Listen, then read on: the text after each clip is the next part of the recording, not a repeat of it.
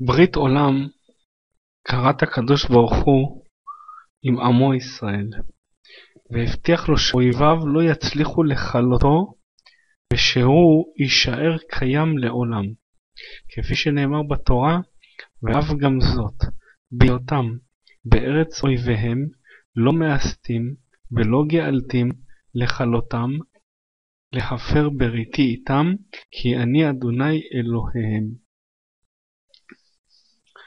על ידי עבדיו הנביאים חיזק השם יתברך הבטחה זו, והשווה את נצחיות קיום ישראל כשמש וכירח, ושלא ימאסם כל הימים להיות לו לעם, וכך אמר הנביא ירמיה.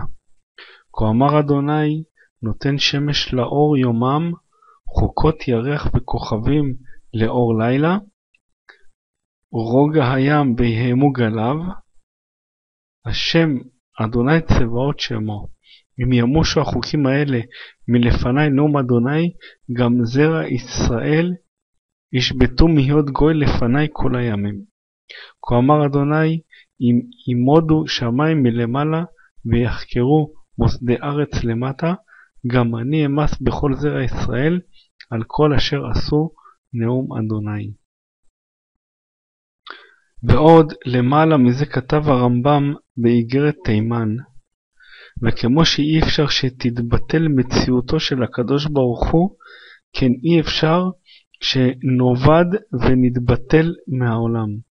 שכן אמר, אני אדוני לא שניתי ואתם בני יעקב לא חליתם. הבטחה גדולה זו נצחיות וקיומו של עם ישראל היא אחד מיסודות התורה ואמונת ישראל, והיא חוזרת ונשנית עוד פעמים רבות על ידי הנביאים, גם כל הנבואות וההבטחות על הגאולה העתידה ואחרית הימים הם ממילא גם הבטחה שעם ישראל יישאר קיים עד בוא הגאולה. בהבטחה זו כלולה גם הבטחה שעם ישראל יישאר לעולם אומה נפרדת ומיוחדת בין האומות,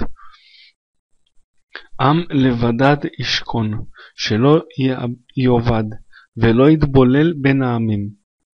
והדבר מבואר בנבואת ירמיהו, שאמר שזרע ישראל לא ישבתו מהיות גוי לפניי כל הימים. ברוך ה' לעולם אמן ואמן.